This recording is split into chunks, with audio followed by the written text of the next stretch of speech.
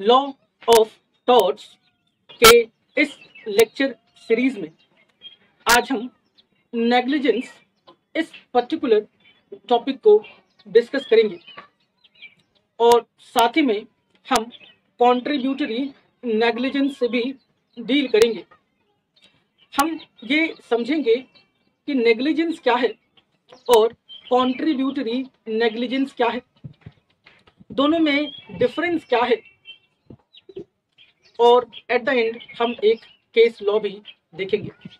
अगर आप इस वीडियो को एंड तक देखते हो तो नेग्लिजेंस और कॉन्ट्रीब्यूटरी नेग्लिजेंस ये दोनों टॉपिक एकदम आपको अच्छे से समझ में आ जाएगा। अपने, अब तक के वीडियोस में हमने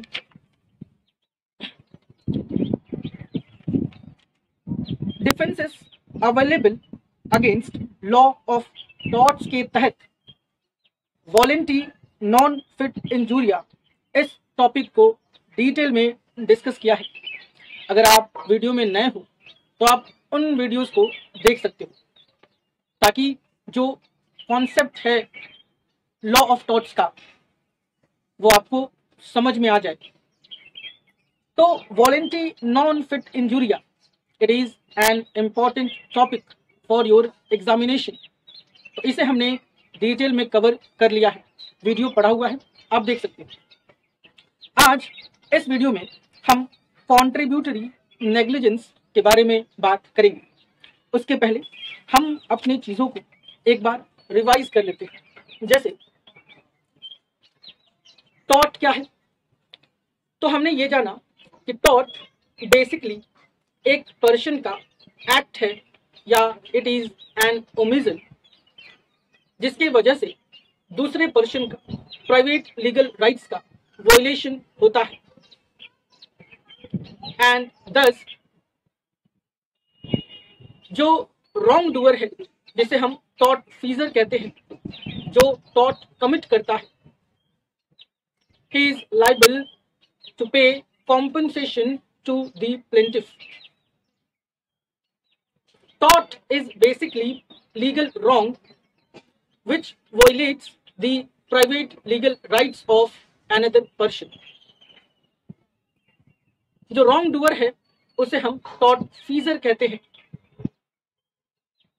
इस टॉट फीजर को कुछ डिफेंसेस मिले हुए हैं इन डिफेंसेस का यूज़ करके ये टॉट फीजर अपने आप को कॉम्पनसेशन पे करने से बचा सकता है।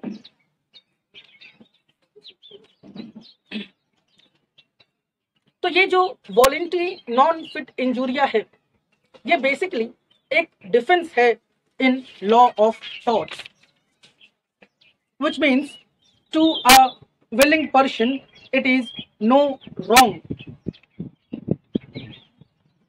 Right?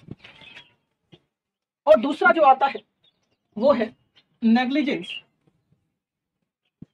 negligence basically it is a taught ये एक टॉट है. कॉन्ट्रीब्यूटरी नेग्लिजेंस कॉन्ट्रीब्यूटरी नेग्लिजेंस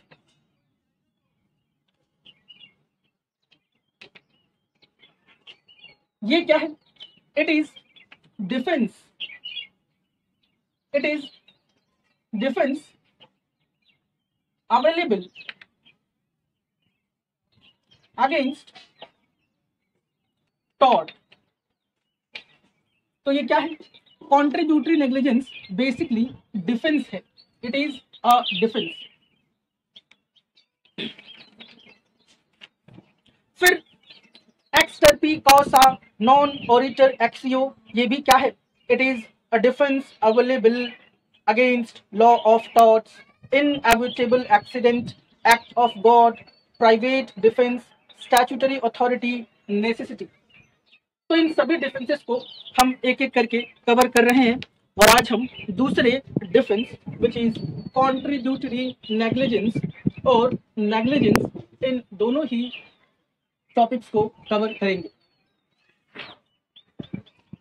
तो negligence it is tort whereas contributory negligence is defense available against law of tort negligence को हम हिंदी में कहते हैं लापरवाही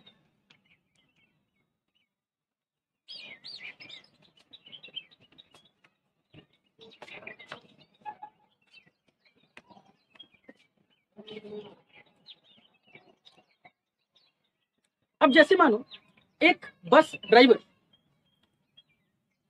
बस स्टॉप पे बस को रोकता है पैसेंजर्स उतरते हैं, लेकिन अभी एक पैसेंजर उतरने वाला होता है कि बस ड्राइवर बस को स्टार्ट कर देता है, जिसकी वजह से पैसेंजर नीचे गिर जाता है, उसे चोटें लग जाती हैं।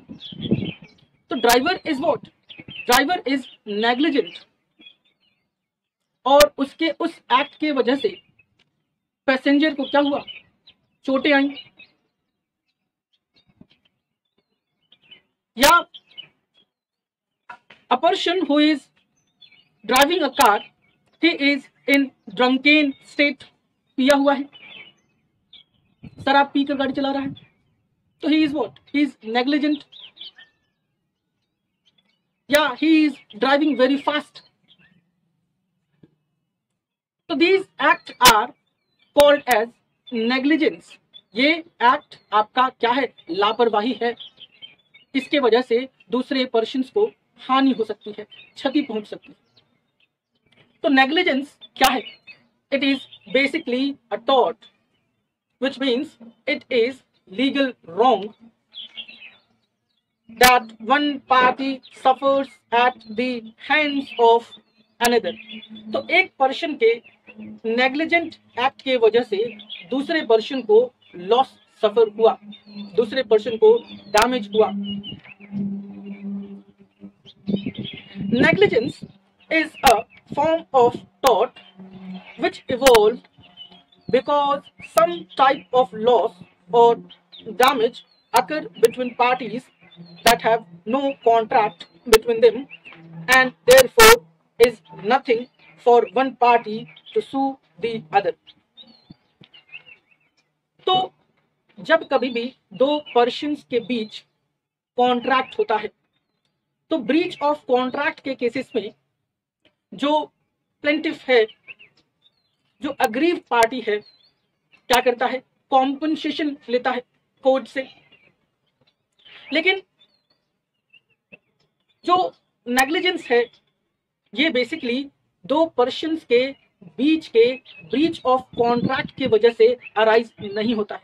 जैसे, जो बस ड्राइवर था who was driving the bus and the passenger who was getting down from the bus, और इसने बस स्टार्ट कर दिया। जिसके वजह से जो पैसेंजर है, उसे चोटें आई। तो क्या इन दोनों पर्सन के बीच कोई कॉन्ट्रैक्ट था? नहीं। तो वहीं से जो नेग्लिजेंस है, उसे एक टॉट के रूप में इवॉल्व किया गया है। क्योंकि अगर ऐसे डैमेजेस हैं, जो कि ब्रीच ऑफ़ कॉन्ट्रैक्ट के वजह से अराइज हो रहे हैं तो उनके लिए कॉम्पनसेशन फिक्स्ड है।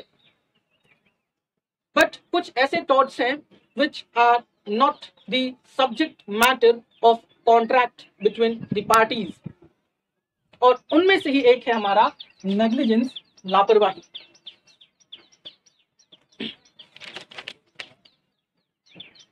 तो बेसिकली जब एक पर्सन अपने लीगल ड्यूटी को फुलफिल नहीं करता है और उसके उस फेलियर के वजह से दूसरे पर्सन को लॉसेस सफ़र करना पड़ता है तो उस पर्सन के उस एक्ट को हम कहते हैं नेग्लिजेंस जैसे जो बस ड्राइवर था he was under the duty to observe that जो पैसेंजर्स हैं, वो पूरी तरह से बस से नीचे उतर गए हैं।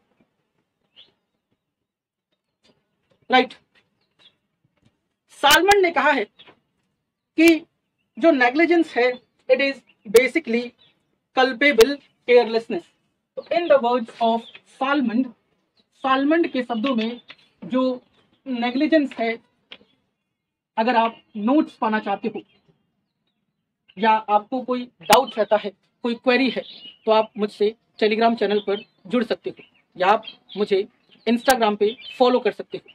आईडी नीचे शो कर रहा है, ठीक है? तो सालमन ने कहा कि जो नेग्लिजेंस है it is it is culpable it is culpable carelessness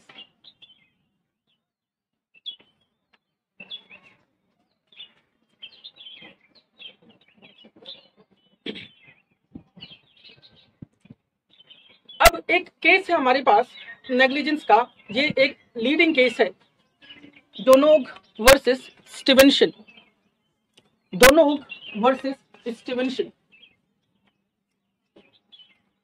Donoghue versus Stevenson के केस में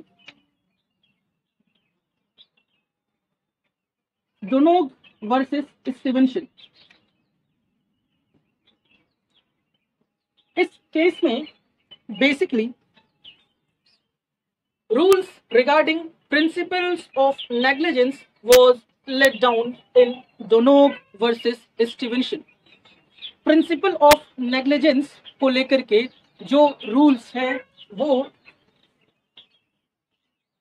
बनाए गए इस पर्टिकुलर केस में, जिसका नाम है डोनोग वर्सेस स्टीवेंसन क्या था ये case in this case it was held that ये कहा गया कि जो ड्यूटी ऑफ़ मैन्युफैक्चरर है who manufactures something for the consumers जो प्रोड्यूसर है।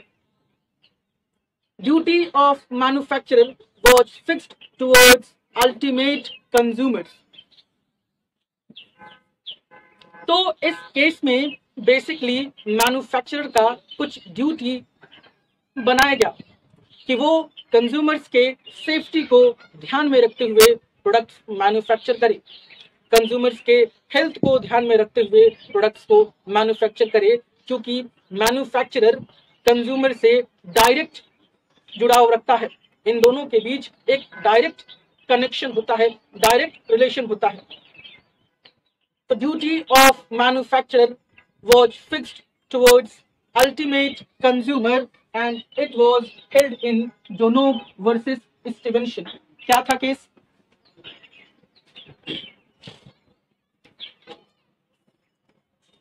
जो डोनोग था ही वॉज़ अ कंज्यूमर और इसने बेसिकली जो ओवरव्यू है केस का, एक कोल्ड ड्रिंक खरीदा। जिसमें क्या था? देर वॉज़ अ स्नेल ठीक है? और उसे पीने के बाद वो बीमार पड़ जाता है। बाद में उसे पता चलता है कि उस बॉटल में, जिसे उसने कंज्यूम किया है, एक स्नो स्नेल था। जोंक, जिसे आप कहते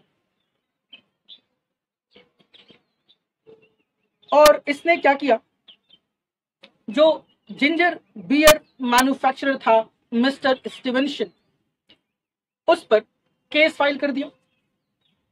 हाउस ऑफ़ लॉर्ड्स ने कहा कि जो मैन्युफैक्चरर है owes a duty of care which was breached because it was reasonably foreseeable that failure to ensure the product safety would lead to harm the consumer. तो कोर्ट ने ये कहा कि ये मैन्युफैक्चरर का ड्यूटी है कि वो प्रोडक्ट को बनाते समय उसके सेफ्टी को उसके स्टैंडर्ड को मेंटेन करे क्योंकि मैन्युफैक्चरर जानता है कि उसके तरफ़ से कोई भी लापरवाही कंज्यूमर के हेल्थ को डिस्टर्ब कर सकती है। हाउस ऑफ़ लॉर्ड्स ने जो डिसीज़न दिया, वो दोनों के फेवर में दिया। Holding that mister Stevenson did owe a duty of care the court established the neighbour principle तो कोर्ट ने डोनोब वर्सेस स्टीवेंशन के केस में नेबर प्रिंसिपल को लेट डाउन किया। नेबर प्रिंसिपल which means कि एक पर्सन जो आपसे डायरेक्ट रिलेशन रखता है who is in connection with you directly तो वो क्या है? वो आपका नेबर है and it is your duty to take care of him और हर तो यानी duty of manufacturer is towards his और हर कंज्यूमर तो बेसिकली ये था नेग्लिजेंस और केस जिसमें rules regarding principles of negligence was laid down तो इट इज़ बेसिकली अटॉट अब हम बात करेंगे